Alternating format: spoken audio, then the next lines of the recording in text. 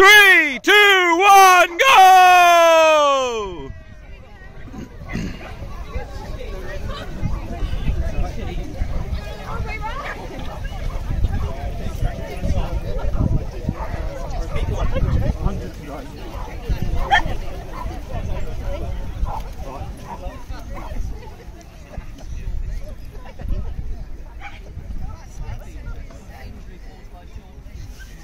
Enjoy, Hugh.